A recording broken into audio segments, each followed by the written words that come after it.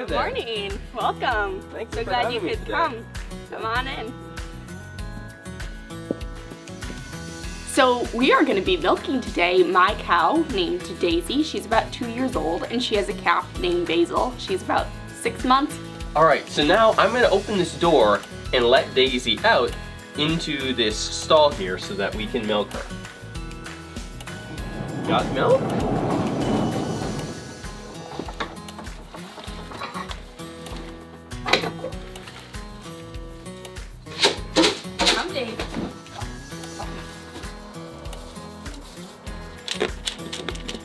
No, get out of there. Ow, ow, ow, ow, ow, ow.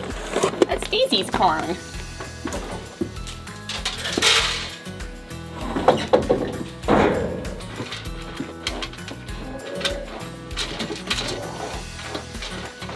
So to wash Daisy's teeth, I have a bucket of warm water here. And I am just gonna wash her teeth because I don't want any of the bad bacteria where she laid down to get in with the milk. And then I am gonna take a dry rag and I am gonna dry her teeth off. So I'm gonna show you how to milk a cow. So I grab a teat and I start at the top and I press with these two fingers and then I go down.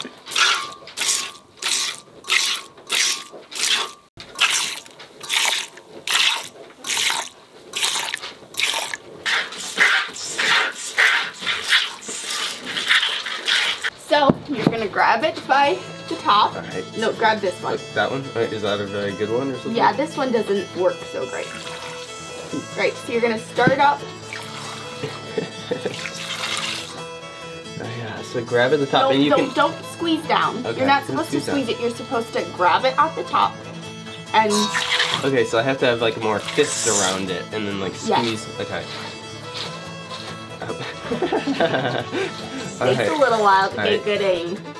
Uh, oh. Oh. I can feel like you can feel like when it fills can- with milk okay, and so, then like. no, no, you're doing like, it wrong. You're squeezing. So you gotta I'm just squeezing. you gotta you gotta roll it out. So I- start up here at the top and roll your fingers down. Okay. yeah. Now you're getting good at this. No, Alright. no, use all your fingers. Alright, I know, but my fingers are so large. They're as well. okay, so I, I tried to tight and then like, there we go. Right? Yeah. Oh. Ah. Wow, there's a little more technique to this than one would think at first, isn't there? Yeah. You just do it. I don't know. I'm gonna try two at once now since I'm getting so good at this. Oh no. Okay. Okay.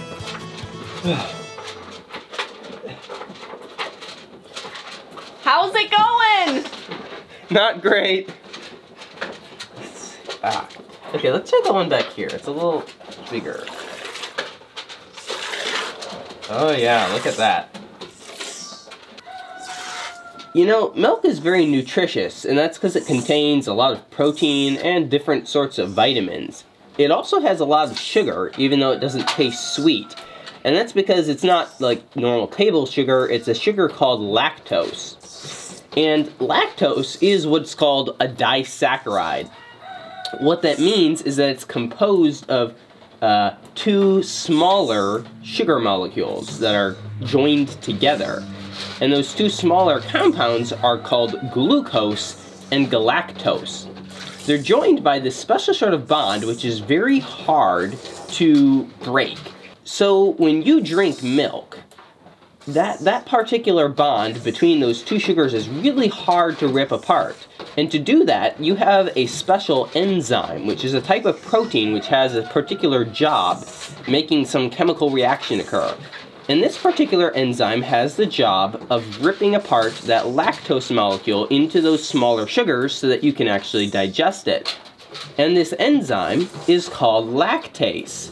So the lactase enzyme plays a role in the body in ripping apart the lactose sugar molecule in milk.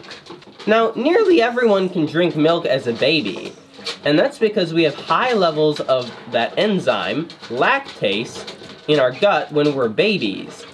However, after we begin to age, our body is biologically programmed to stop making that lactase enzyme. And so there's this particular thing called a transcription factor, which actually binds to your DNA.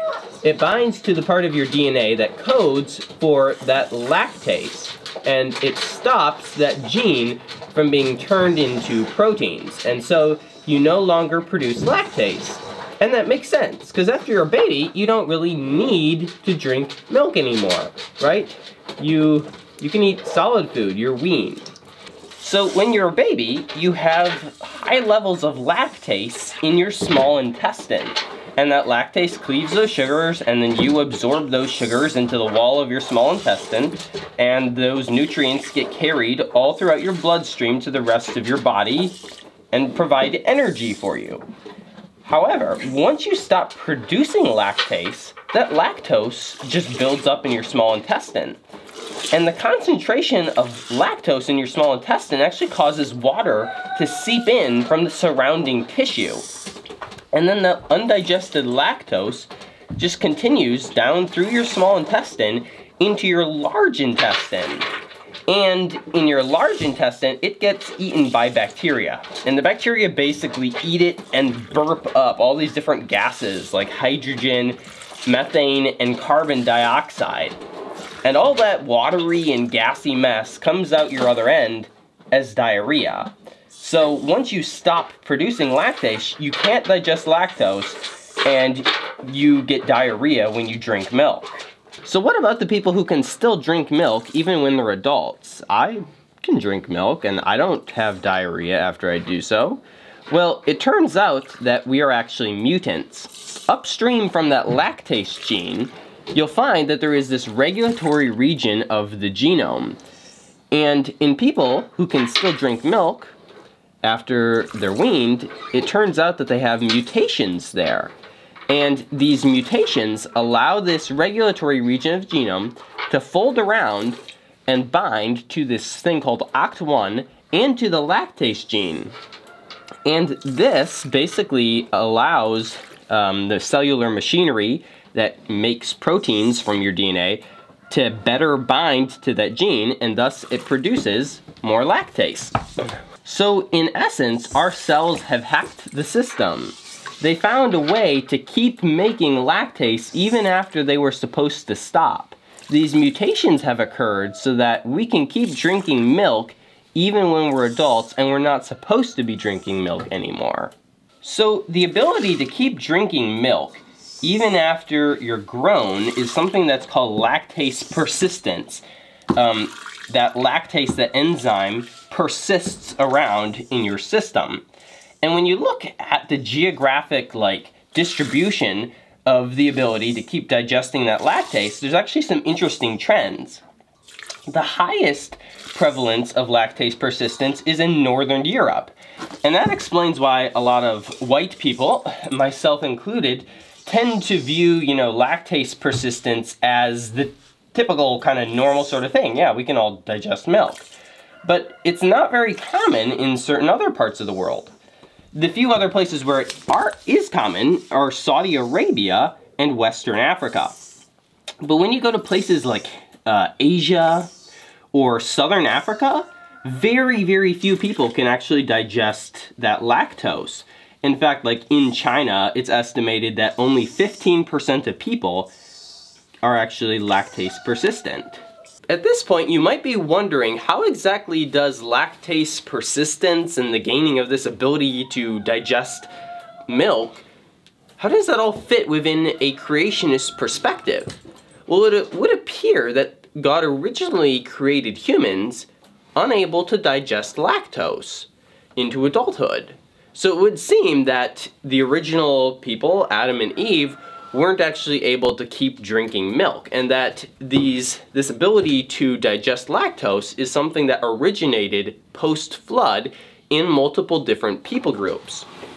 So what probably happened is that at or a little after the time of Babel, as the people were dispersing out, these various mutations happened in multiple different populations. And so each of these different people groups, as they were expanding outwards and finding new territories, got this ability to drink milk, and we're able to very quickly take advantage of that. Milk and curds are referenced in the book of Job. Uh, another story where milk is referenced very early on is when Abraham invites those three mysterious people to a dinner, and guess what he serves them? He also serves them milk as well. But ancient peoples weren't just milking cows, they also were milking goats and camels. And in the story of Jacob and Esau, we hear about how Jacob gives to his brother Esau milking camels. How's it going over here? Um, well, it's somewhat Oh my, going- you only got that much milk? it's not going wonderful. Okay, Yeah, I got a little bit. a little bit. I think I need some more practice. Definitely. Now it's time to let Daisy loose. Good girl.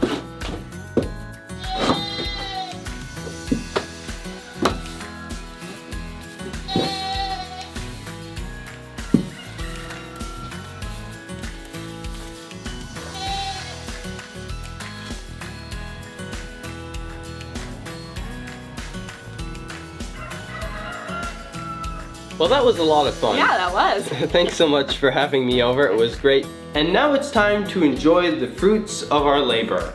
Time for me to digest some lactose.